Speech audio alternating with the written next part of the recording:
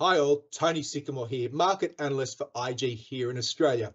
A quite a week for markets last week as investors digested key earnings reports and assessed the outlook for monetary policy ahead of key central bank meetings over the next fortnight, including the Bank of Japan, the RBA, the FOMC, the ECB, as well as the Bank of England.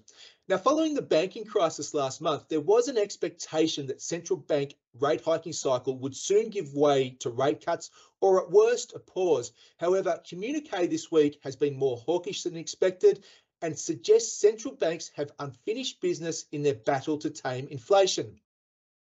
The key events for next week include inflation reports in Australia, the US, and Europe, as well as GDP reports in the US and Europe, and of course, the continuation of the quarter one 2023 earnings reports in the US.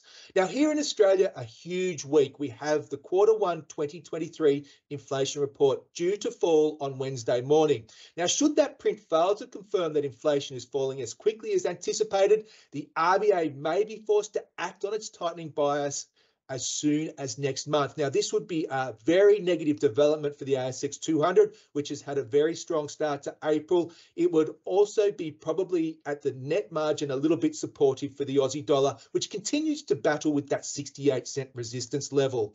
Now, over in Japan, we get the BOJ meeting on Friday. It is the first meeting for the new governor, Ueda, and we're not expecting to see any adjustment to yield curve control policy. Uh, however, we can never rule out a surprise price move there. And if we did see a, a, slight adjustment or a tightening, if you like, it would be a negative development for dollar yen for Nikkei and for global equities, and probably be broadly supportive for US yields, which probably would trigger a general risk off move across set classes.